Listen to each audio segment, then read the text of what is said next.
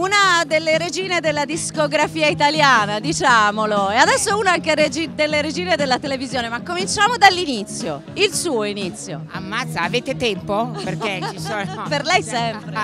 No, io vi ringrazio, ma sono veramente passati tanti anni. Io non sono tanto una regina, ho lavorato tutta la vita, ho fatto il discografico, adesso combinazione ho fatto questi talent, ma adesso le regine sono un'altra cosa. Comunque mi... sei stata gentile a raccontare tutta la mia vita, qui non ci vorrebbero sette anni perché sono una vecchia signora, non come la capannina ma quasi.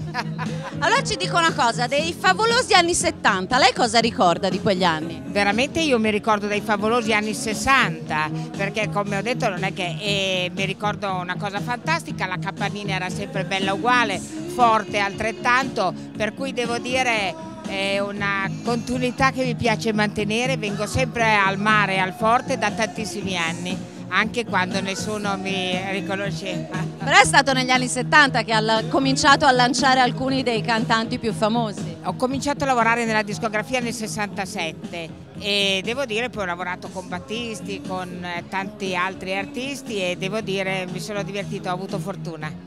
E dalla musica italiana alla musica invece internazionale, la disco music, le piaceva? Assolutamente sì, è stato un lungo percorso della disco music e gli italiani sono stati dei grandi produttori di disco music.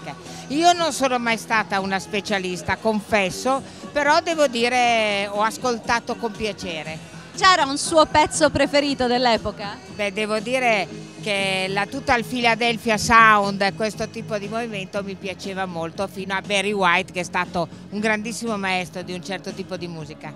Un ultimo favore, per noi in camera ce lo dice I Love Disco?